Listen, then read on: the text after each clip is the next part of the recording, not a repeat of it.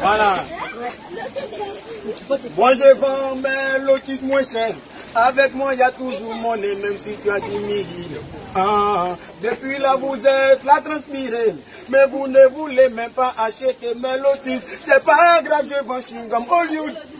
Diamant des paquets pour garder les paquets en bonne santé. Si je vous dis, je suis comme Hollywood, c'est 100 francs le paquet, donc ne pas plus cher le boutiquier. Car je vends des falles, je vends Marlboro Light, je vends des fines light avec des fines rouges. Je vous dis, je vends des falles, je vends Marlboro Light, je vends des fines light avec des fines rouges. Si tu achètes mon lotus, tu ne vas pas regretter, tu finis de te laver, tu peux prendre pour t'essuyer. Si c'est sale, tu peux laver, tu peux sécher et repasser. Et après, tu peux plier pour remettre dans le paquet. On appelle ça lotus d'adjou.